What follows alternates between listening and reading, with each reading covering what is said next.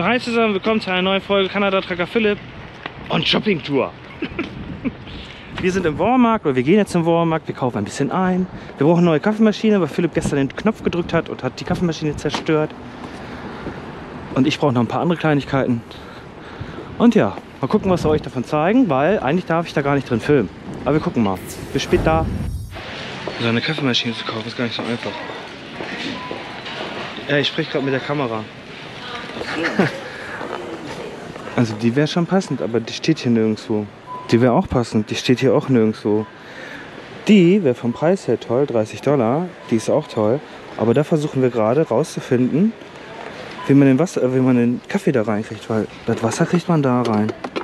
Können wir halt nur warmes Wasser trinken. Und da kann man irgendwie, da ist eine Kaffeebohne drauf. Draufdrücken vielleicht? Nee, Alles schon. gar nichts. Ich glaube, das ist zu kompliziert schon. Ja, oder du legst halt ein bisschen mehr an. Das ist ja bestimmt versteckte Kamera. Die Ja, bestimmt. Die machen, die sitzen hier irgendwo in so einem Büro drin und zerschießen sich mit mir an den Kuchen. Dann sagen wir dann, ja, Ja. die, die dummen deutschen Auswanderer, die, die die, dummen deutschen Auswanderer, die stehen da wegen uns. Pass mal auf. Mach du da mal weiter, ich guck hier mal um die Ecke.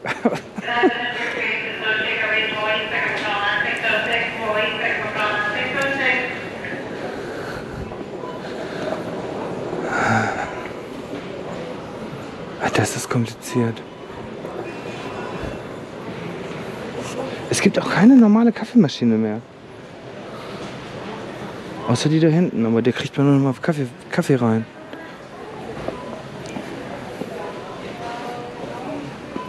Nein, das ist was anderes.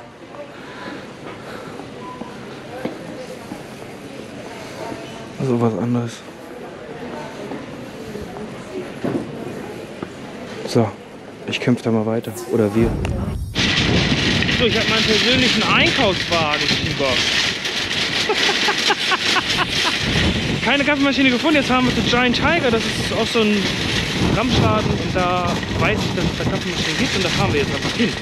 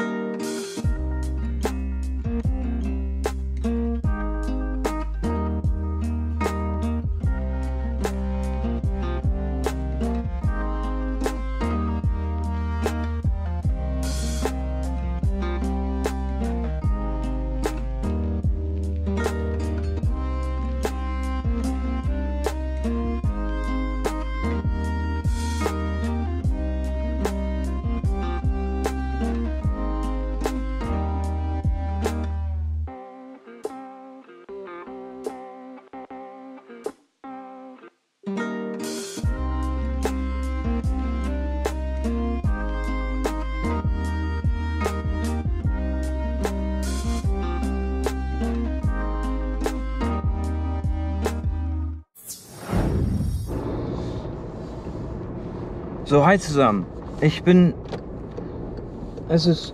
Was ist denn heute? Donnerstagmorgen. Donnerstagmorgen.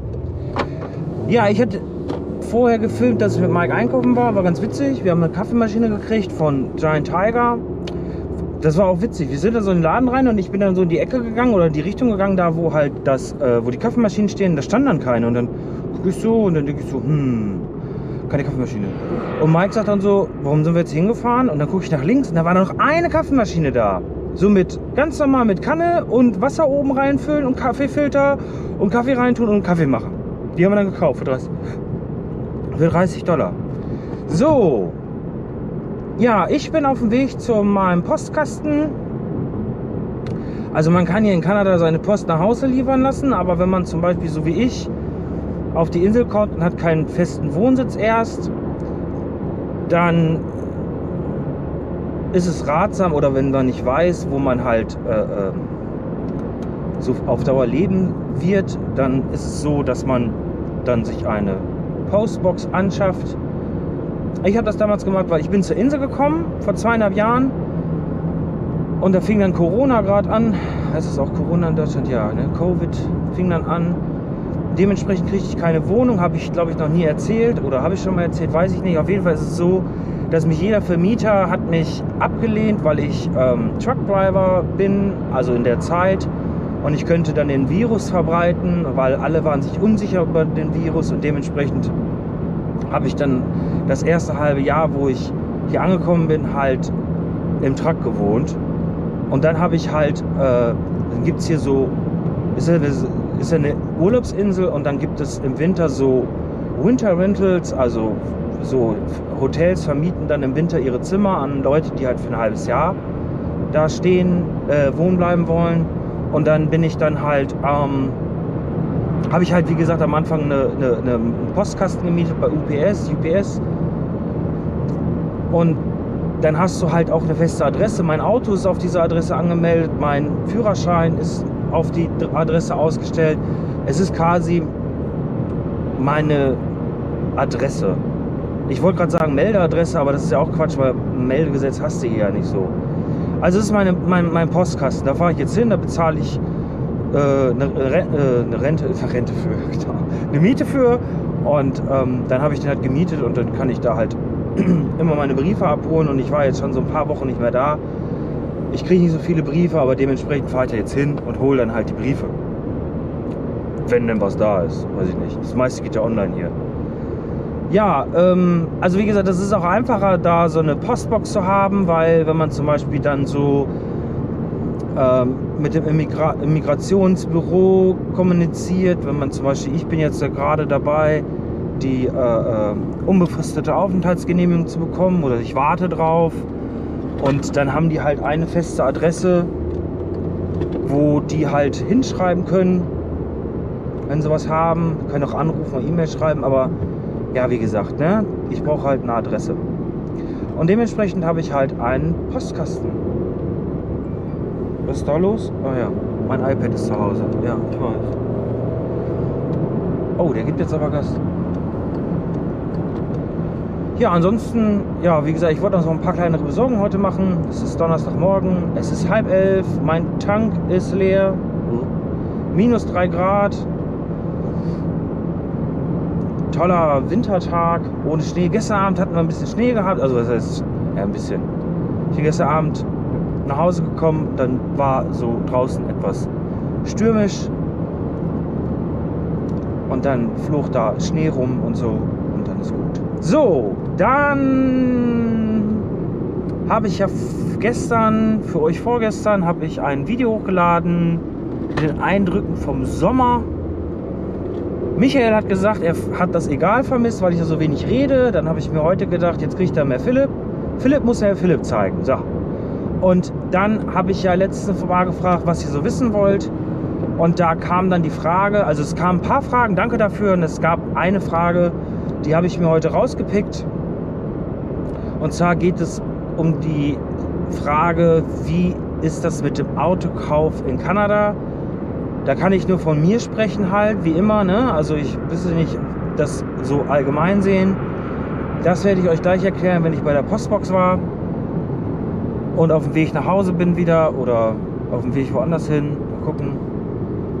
Und dann würde ich euch darüber meine Geschichte über den Autokauf in Kanada, über meine, meine Experience, meine Erfahrungen zum Autokauf in Kanada. Ich würde sagen, bis später. So, Post geholt. Vier Briefe. Eine Brief ist aus Deutschland, der ist wahrscheinlich wegen Oma. So, also bevor ich, ich habe eben überlegt, ich will jetzt über das Autokaufen sprechen. Ich muss euch mein Auto vorstellen, der eine oder andere kennt es schon. Also ich habe einen, einen, Passat, der hat hier unten so ein bisschen Rost. Das ist nicht, keine neue Karre, ne? Also da fängt auch an zu rosten. Ich mein Auto rosten hier weg wie sonst was, weil sie hier viel Salz streuen. Ich fahre also hier so einen ganz normalen einen ganz normalen langweiligen Passat. Und der hat, ähm, oh, der, der war günstig, ne? Also da sage ich gleich was zu. Ähm, der, der hat, der ist, ja wie gesagt, neun Jahre alt. Ich habe den seit anderthalb Jahren. Der hat 300, 337.000 Kilometer gelaufen. Ist ein Fünfzylinder drin, 2,5 Liter Hubraum, Automatik mit 170 PS. Ähm, das ist hier so die, von, von Volkswagen gesehen ist es eigentlich die, die größte Motorisierung, glaube ich, die man hier in diesem Passat kriegen kann. Glaube ich, ich weiß es nicht genau. Ich mache mir da auch nicht so viel Gedanken. Auto ist für mich da zum Fahren. Der kostet äh, 50 Dollar Versicherung im Jahr, äh, im Monat, nicht im Jahr. 50 Dollar Versicherung im Monat. Frisst, weiß ich nicht, 7,5, 8 Liter. Ich weiß nicht genau. Ähm, dann muss man natürlich auch eine Roadtax, eine Straßensteuer, eine Steuer bezahlen, ne? eine Kraftfahrzeugsteuer bezahlen.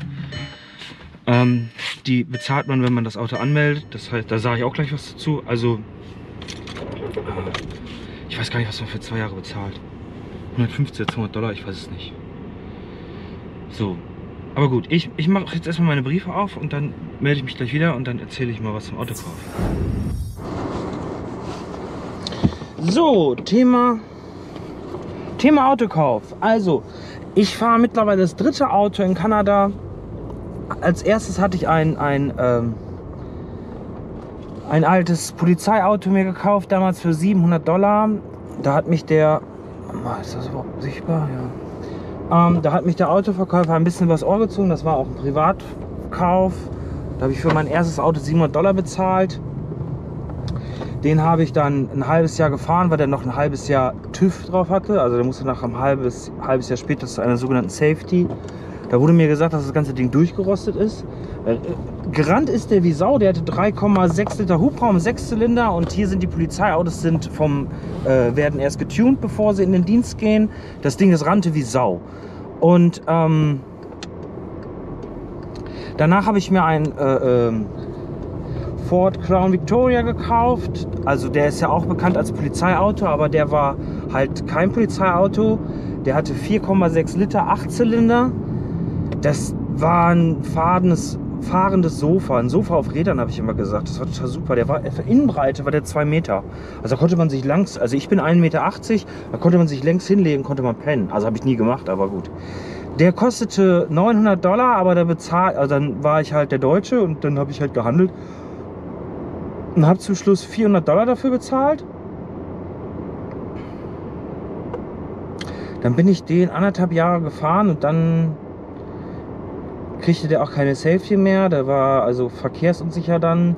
Den habe ich anderthalb Jahre gefahren für 400 Dollar und dann habe ich den zum Schrott gebracht und habe noch 250 Dollar Schrott äh, Schrottprämie gekriegt. Das heißt also, ich habe ein Auto in anderthalb Jahren für 150 Dollar gefahren. Das war echt günstig. Aber dann habe ich mir einen Passat gekauft hier. Und zwar war das ein Notkauf, weil ich dachte, dass ich den, den Ford wollte ich eigentlich weiterfahren. Den habe ich geliebt. Den wollte ich eigentlich, ja, den würde ich heute noch fahren. Aber wie gesagt, der kostet 200.000 Dollar Reparatur. Und ich habe dann gesagt, komm, dann guck mal, was du so bis 2000 Dollar findest.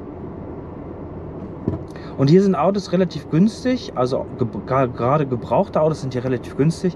Und ich hatte das dann so gemacht, dass ich ähm, einfach mal bis 2000 Dollar geguckt habe. Und hier ist es so, zum Beispiel hier gibt es, heißt es Kiichi, das heißt, das ist so das, äh, das amerikanische äh, äh, eBay Kleinanzeigen, würde ich sagen. Da habe ich geguckt und da habe ich dann auch nur also habe ich nur Kacke gefunden, da habe ich nur Sa Sachen gefunden, die mir nicht gefallen haben. Ich meine, okay, für 2000 Dollar sollte man jetzt auch nicht irgendwie was erwarten, aber ja, gut. Und dann bin ich dann auf den einzelnen Händlerseiten draufgegangen und da steht dann meistens mehr. Also wenn man Autos sucht, sollte man bei dem Händler direkt suchen. Da ah, ich will jetzt nicht sagen, dass man da mehr findet, aber da findet man halt andere Autos als jetzt zum Beispiel auf diesem Kiichi, auf diesem Kleinanzeigen eBay. eBay Kleinanzeigen. Egal, ich habe auf jeden Fall beim VW-Händler habe ich dieses Auto gefunden. Der stand da, wie gesagt, 337.000 hat er jetzt runter, fast 200, 337.200. Ähm, der war halt auch ohne Garantie, ohne gar nichts. Der war halt einfach nur zu mitnehmen. Und wenn du Glück hast, kannst du den weiterfahren. Ansonsten kannst du den ne, versenken. Und dann habe ich überlegt, hm, kaufst jetzt ein Auto mit Garantie, lest du mehr an oder kaufst jetzt einfach so eine alte Karre? Und ich habe mir halt gedacht, okay, das ist ein VW. Ich habe den dann Probe gefahren, er lief, lief dann ganz gut. Und da habe ich gesagt, komm, dann. Und dann braucht der auch neue Safety. Und dann habe ich dann zum Händler gesagt, ja, der Wagen, der fährt ganz gut. Also er, er fährt sich, als wenn er jetzt nicht 300.000 runter hätte, sondern als wenn der 80.000 runter hätte. War auch erste Hand und der Vorbesitzer hat den auch nur gepflegt. Also es war jetzt, ist jetzt kein Reparaturstau an dem Auto dran. Und dann habe ich gesagt, ich sage, ja, wie, wie, wie sieht denn das aus? Könnt ihr mal gucken, was der braucht für die, für die, für die äh, Safety, also für den TÜV? Ja, ja, machen wir. Und dann haben die gesagt, ja, äh, das kostet aber 70 Dollar. Ich gesagt, ja, komm, die 70 Dollar investiere ich. Und dann gucken wir mal und dann ist fertig. Und dann sagte er so, ja, der kostet, also da war irgendeine Kleinigkeit dran zu machen, um Safety zu bekommen. Und dann habe ich gesagt, komm, dann machst du das, was kostet das Auto? Und dann haben wir uns geeinigt, dass ich 1800 Dollar für das Auto bezahlt habe. Und ich dachte mir damals, ein Auto, was neun Jahre alt ist, 330.000 runter hat, ich fahre im Jahr ungefähr 5.000 bis 6.000 Kilometer, weil ich ja meistens im Truck bin. Oh, da steht aber ein schöner Golf eher. Ja. Egal, auf jeden Fall, ähm, jetzt kriegt ihr wieder eure egal Portion. Portion egal. So, ähm, dann habe ich so gedacht, okay, wenn ich jetzt das Auto für 1800 Dollar kaufe, ich fahre da kaum mit. Äh, wenn er ein Jahr hält, dann ist es auch gut. Weil die werden so gehandelt, so, die wurden so gehandelt, so, so bei vier ungefähr. Und mit weniger Kilometern, ne? Ich dachte, komm, gehst du es ein? Ja, komm, dann machst du jetzt, ne? So. Dann habe ich den gekauft, jetzt fahre ich den mittlerweile seit anderthalb Jahren. Jetzt vom, vom halben Jahr braucht er natürlich dann wieder einen neuen TÜV, weil ich ja jährlich hier zum TÜV muss.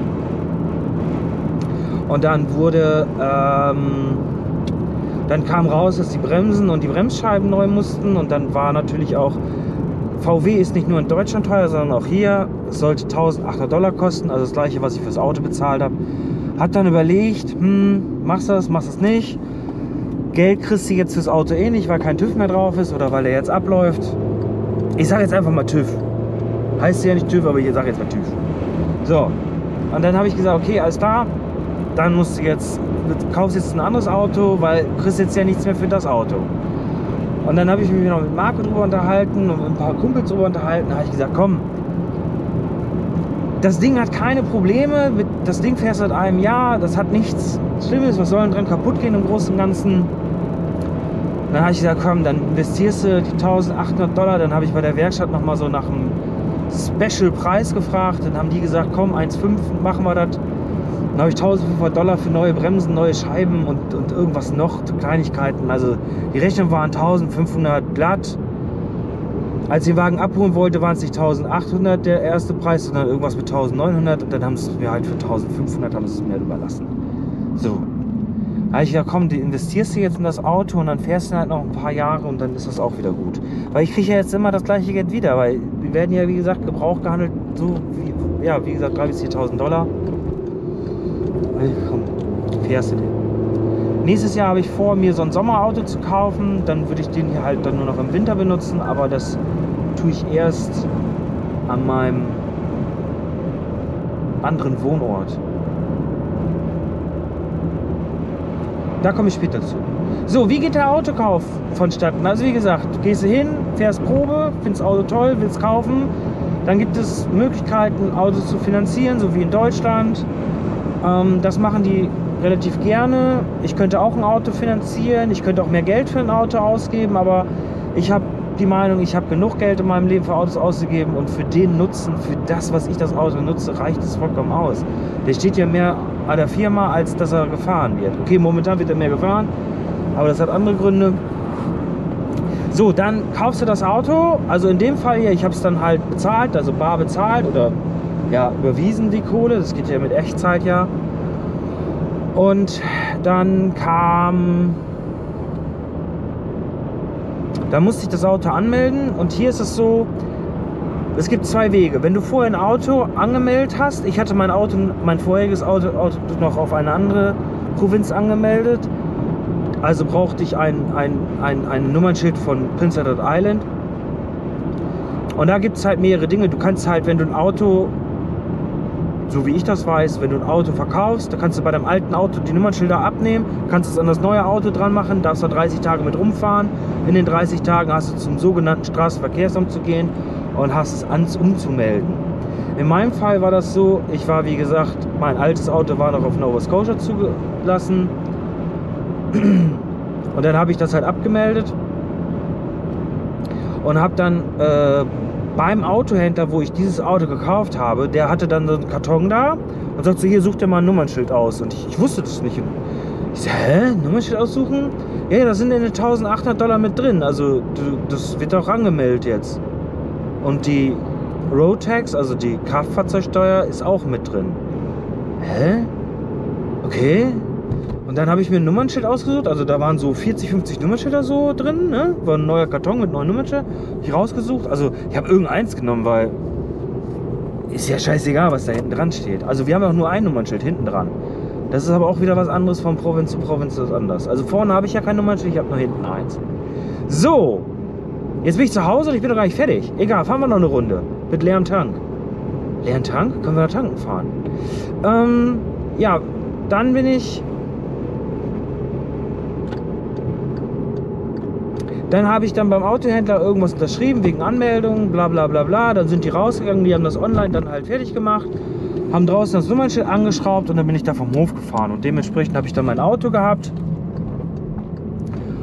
Also es ist etwas einfacher, ne? Hier in Kanada. Also, nee, ich will nicht sagen einfach, es ist anders. Ne? Also ich will jetzt nicht sagen einfacher, schwieriger. Es ist anders halt einfach. Ich sage das auch immer, es ist anders. Viele Leute sagen immer, oh, das ist aber einfach bei euch. Ich sage mal, es ist anders. Also wie gesagt, Auto gekauft, Nummernschild ausgesucht, die Kraftfahrzeugsteuer war da mit drin und dann bin ich mit dem Auto vom Hof gefahren. War noch was? Ja, tanken muss man doch selber, ne? Und bei der Versicherung muss man halt anrufen und sagen, ja, hör mal, ich habe da ein anderes Auto gekauft. Und wollen die halt die Fahrgestellnummer haben und dann kriegst du eine E-Mail, ja, ist jetzt hier auf dich versichert. Und dann ist das gut. Ja, ansonsten. Auto kaufen, anmelden, fahren, gucken. Die meisten Autos sind hier Automatik, wisst ihr ja wahrscheinlich schon eine oder andere. Also ich habe hier selber kaum. Ne, bis jetzt habe ich, hab ich einen Schaltwagen gesehen hier man auf Bildern, aber so reell habe ich noch keinen Schaltwagen hier gesehen. Automatik finde ich auch cool. Wie ist es eigentlich in Deutschland momentan? Ist das Automatik ist jetzt mehr im Kommen? Also ich würde nur noch Automatik fahren. Ich finde Automatik cool. Viele sagen dann, ja, nee, muss selber schalten. Nee, finde ich gar nicht. Automatik ist geil. Geil. Geil. Wenn ich irgendwann mal nach Deutschland zu Besuch komme und möchte dann einen Mietwagen mieten, dann miete ich mir wahrscheinlich auch ein Schalt, äh, ein, ein äh, Automatik. Mal gucken, hier ist ein Stoppschild jetzt. Hier macht man immer so, nur, äh, wenn man neue Schilder hier macht, dann macht man darunter ein Zusatzzeichen und da schreibt man dann New dran. Das soll die Leute darauf hinweisen, dass das Schild neu ist. Aber das war hier vorher nicht. Ja, ansonsten, ja, es ist Donnerstag. Ich hoffe, dass ich Sonntag wieder rauskomme. Und ich würde sagen, aber schon wieder zwölf Minuten geredet. Ah, Therapiestunde für Philipp ist jetzt zu Ende. So, ja, wie gesagt, ich lade das Video morgen hoch, dann habt ihr ein Freitagsvideo. Mittwoch gab es ein, ein Sommervideo, Freitag gibt es ein Erklärbär-Video. Wenn ihr noch irgendwelche Fragen habt, schreibt mir die raus. Ich würde sie dann auch beantworten. Ich bedanke mich fürs Zuschauen. Abonnieren nicht vergessen, teilen nicht vergessen, liken nicht vergessen, abonnieren nicht vergessen, liken nicht vergessen, teilen nicht vergessen, kommentieren nicht vergessen. Okay, alles klar, bis später.